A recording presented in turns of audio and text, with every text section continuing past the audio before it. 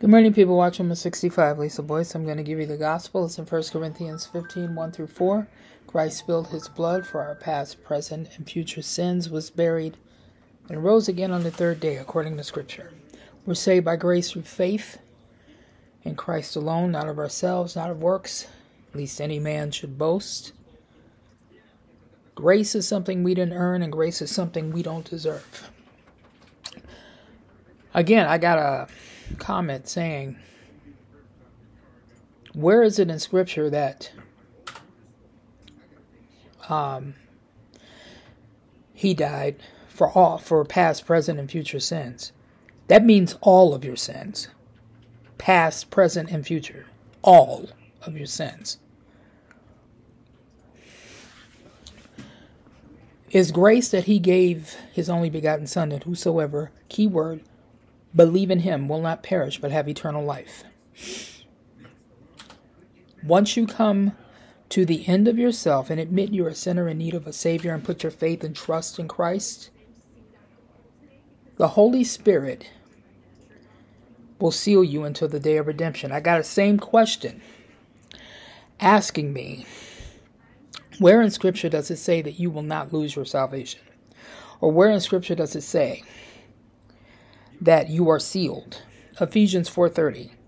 The Holy Spirit seals you the moment you accept Christ as Savior until the day of redemption. That means you will not lose your salvation. You are sealed tighter than a Ziploc bag. Better than a Ziploc bag because you are sealed. That alone should be a mic drop moment for a lot of people. But like I told her, unfortunately, a lot of people don't get it. So they criticize people who believe in once saved, always saved, saying that, you know, you can lose your salvation or that, you know, you can lose your salvation. You can't. Once you accept Christ as Savior, you're sealed until the day of redemption. It's right there in black and white. Ephesians 4:30. The Holy Spirit will lead you, the Holy Spirit will guide you. The Holy Spirit is your best friend. The Holy Spirit will change you. And most of all, like I said, Ephesians 4:30, the Holy Spirit will seal you until the day of redemption, which means you will not lose your salvation. Um, I'm doing this real quick because, like I said yesterday, we're going to the range, the shooting range. So this just came. When did this come? Oh, this came last night. Um, the U.S. is warning, warns of China aggression after move after more live fire exercises in the South China Sea. So not only is the U.S. warning Russia, who is in bed with China, the U.S. is warning China also, who's about to invade also Taiwan. It's just a never-ending thing. They, um, the Chinese military has been holding more live fire drills in the contested South China Sea this week, state media reported, while accusing the United States of saber rattling and making provocations. The military exercises come as Washington has amplified its concerns about China's aggressive actions. This week, the top U.S. diplomat vowed to ensure freedom of navigation in the disputed waterway. The People's Liberation Army daily quoted the uh, Hainan Maritime Safety Administration as issuing navigation restrictions restriction notices for three different locations around uh, Hainan, China's largest island, which lies off the south coast of the mainland because of the live fire drills. No further details were given, but usually live fire exercises are aimed at testing the troops' combat preparedness, especially in the amphibious landing scenarios. And at least two of the drills concluded Friday, one near uh, Hainan and the other uh, near the Gulf between China and Vietnam. The People's Liberation Army also carried a video which it said showed a naval frigate uh, flotilla attached to the PLA Southern Theater Command on a recent seven day intensive live fire exercise in the South China Sea. So now it makes sense that China would act up now. Russia is already doing it, so China's about to do something now. Drills carried uh, drills included carrier-based aircraft landing, handling of float, uh, floating mines, and artillery uh, artillery firing. The report said, without giving a precise location. There has been a steady flow of reporting in Chinese state media on military drills in the South China Sea, a potential flashpoint for conflict in the Indo Pacific. China's sweeping claims overlap with those of Malaysia, the Philippines, Taiwan, and Vietnam.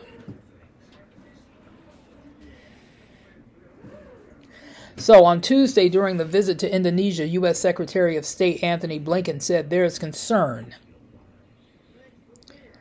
among countries in that region. Now, it wouldn't surprise me one bit if both of these wars started at the same time. I'm talking China with Taiwan and uh, Russia with uh, Ukraine. Because they're both, like I said, they're both in bed together. So it wouldn't surprise me one bit if they both, if they both started an invasion at the same time. It was Blinken's first visit to the Southeast Asia uh, to Southeast Asia since he took office at the top of his U.S. diplomat in January. There's also expectation that Sleepy Joe will invite Southeast Asian leaders to Washington for a summit early next year. Uh, responding to Blinken's uh, speech, Chinese Foreign Minister spokesman accused the U.S. of saber rattling and making provocations by sending advanced military aircraft and vessels to the South China Sea. On Tuesday, the South China Sea Strategic Situation Probing Initiative and a Beijing based think tank alleged that the U.S. Air Force sent an RC 135W spy plane.